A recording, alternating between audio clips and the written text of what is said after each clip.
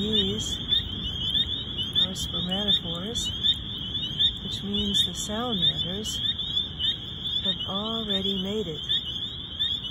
soon to come back and lay some eggs.